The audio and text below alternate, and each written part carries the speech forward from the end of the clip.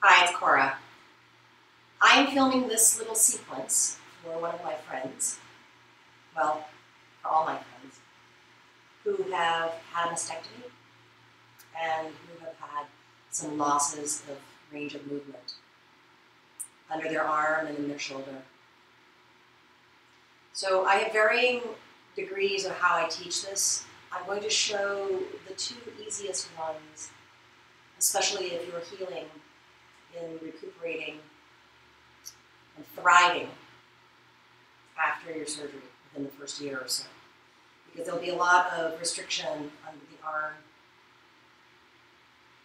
where the mastectomy was, and it'd be very hard to reach up and to move the arm sometimes.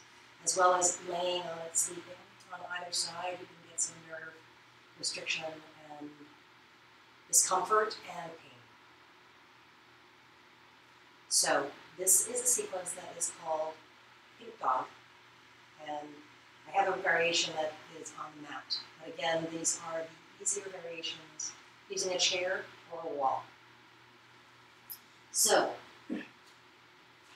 depending on range of movement, I'm going to use the chair, and if it is easy for you to bend forward and reach the chair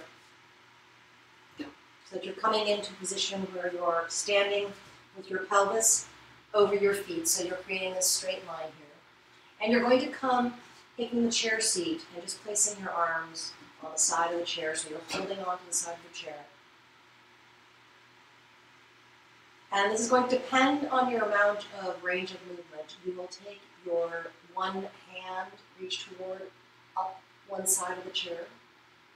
You'll reach back with your bum and you'll take the opposite foot and reach back.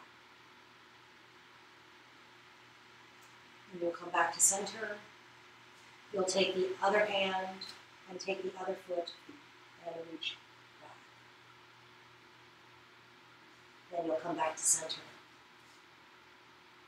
Now, if that was no problem, we'll proceed. You'll take your first hand to the side of the chair, and this time you'll take your opposite foot and you'll move it opposite to stretch longer across all this, you'll see.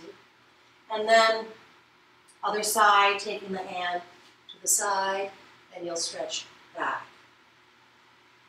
Feeling the sensation in the shoulder. Again, not overstretching, not overreaching.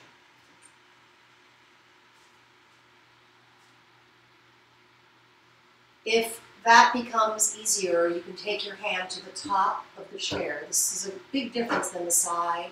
So realize that as you take the top of the chair, there'll be much more stretch. So you'll test by first leaning back, taking the leg back, just feeling that. And then you can take the leg back in the opposite way. You'll come back to center, taking the opposite arm, taking it up toward the top of the chair.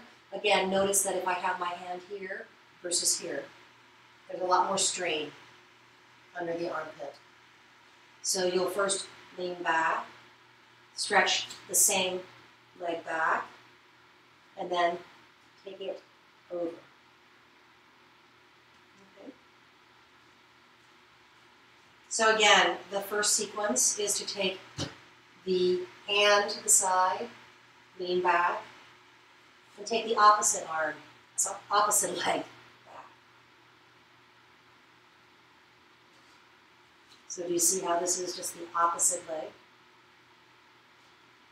Then you would proceed with taking that opposite leg off the mat.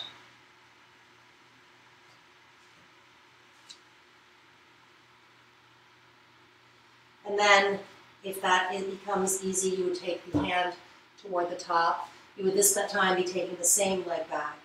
You see that that's a lot more stretch underneath here. So the same leg back. Then you would take that same side leg and take it back off the mat. Off the mat.